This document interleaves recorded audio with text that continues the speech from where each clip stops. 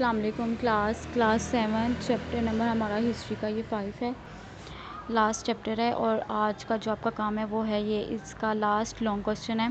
थोड़ा सा लंबा है, ज़्यादा नहीं है, बस जो है इसमें थोड़े से पॉइंट्स लिखे हुए हैं।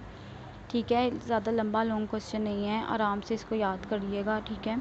मुश्किल वाली बात नहीं है, लंबे को देखें या इसकी लेंथ को देख के परेशान मत होइएगा। ज़्यादा लंबा नहीं है ये, ठीक है? बहुत आसान वर्डिंग इसमें लिखी हुई है। और मैंने बहुत ही छोटा करके जो है ना सीरियसली मैम बहुत छोटा करके आपको मैंने ये दिया बीच में से पॉइंट्स निकाल निकाल के। तो आप परेशान मत होइएगा, ठीक है, ये आपका लास्ट लॉन्ग क्वेश्चन है। उसके अलावा आपका जो एक और काम है, वो ये है कि आप लोग के पास जो है ना चैप्टर नंबर फोर के, मुझे पता चला है कि शायद आप लोग के पास लॉन्ग क्वेश्चन नंबर वन नहीं है, या शायद वो मुझसे अपलोड नहीं हुआ हुआ। तो आपका जो है ना, ये लॉन्ग क्वेश्चन नंबर वन है। बहादुर शाह ज़फ़र का सॉरी बहादुर शाह वन वाला।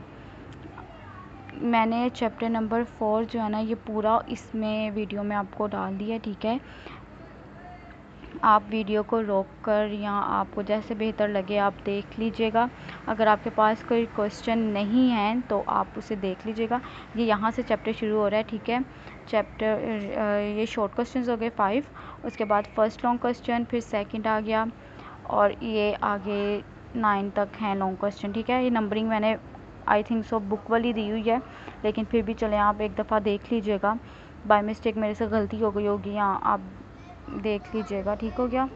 सिर्फ़ आपका ये काम है कि आप लोग ये एक लॉन्ग क्वेश्चन देख लीजिए, देख लीजिएगा। और यही आपका जो long question number chapter number five का लास्ट लॉन्ग क्वेश्चन है, ये आपने लिखना भी है और याद भी करना है। बस ये इतना सा आप लोग का काम है।